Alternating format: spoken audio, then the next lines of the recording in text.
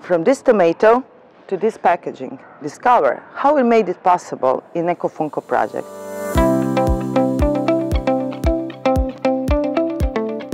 EcoFunco project, as you know, is a project on coatings. Coatings derived from biomass, so from agro-food waste. And one aspect of the EcoFunco project is to use biomaterials which are waste from food production, so which are available anyhow, which are not small niches, but uh, which are available in big quantities, but which after a certain treatment can have important functionalities for packaging.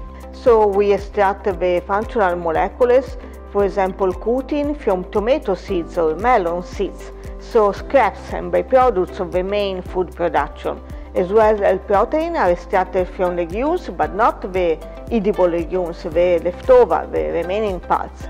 And chitin and chitosan are extracted, for example, from crustaceous exoskeleton or from fungi.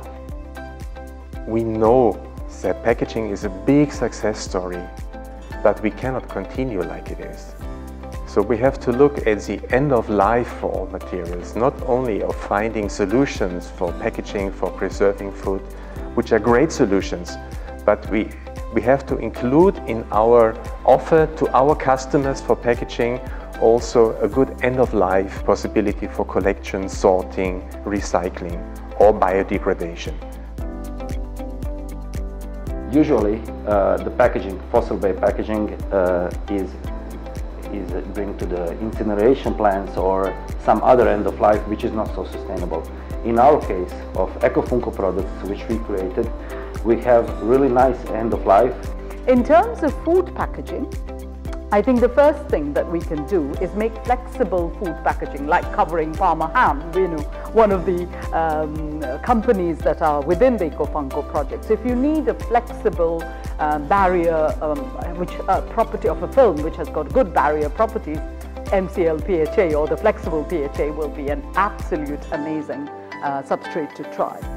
Uh, similarly, for food packaging, bacterial cellulose would be like paper. You know, we use paper packaging now, but it is absolutely pure, biodegradable. You don't have to get rid of the lignin, etc., that you have to get rid of in a plant cellulose. So we've got a ready-made packaging from nature. Let's use it. In the frame of EcoFunco project, we developed different substrates. Some of them are rigid substrates, but some of them are flexible. Rigid substrates were used for the thermoforming process in order to obtain different trays. But from the other side, flexible films are used as a top lid films. And together you can we created one packaging from the let's say different source of the material. The most important thing is that this packaging are completely biodegradable, compostable and recyclable.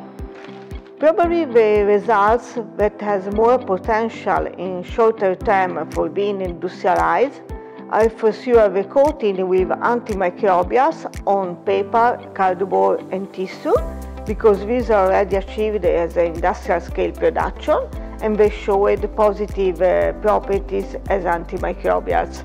Uh, so they are very near um, in short time to be industrialized companies like BioMe has really excellent opportunity to collaborate with other companies and to exchange this knowledge in uh, working and obtaining these different types of biopolymers in, especially this is important when we talk in terms of packaging because packaging is one uh, of the biggest sector into the whole bio industry. In the BioMe facility, we are creating different materials. We have equipment for creation of different and various bioplastic and more green sustainable solutions and materials. And further, we are transforming these solutions into semi-final and final products.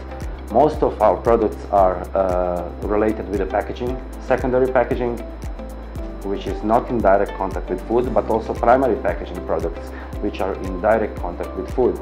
And I can see what I can do with the polymers that I produce, like the medium chain PHA, will be an ideal water repelling coating for lots of different applications, like the coffee cups that we drink coffee out of, you know, a very, very important application.